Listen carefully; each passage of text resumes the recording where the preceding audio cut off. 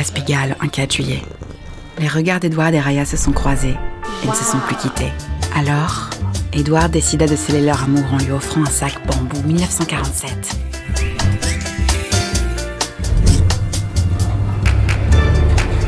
Zoé et Accra ont toujours tout partagé.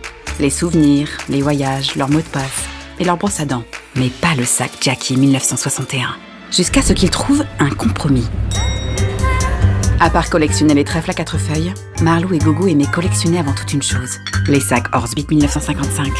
Quand soudain, une passante portant doublement le même sac.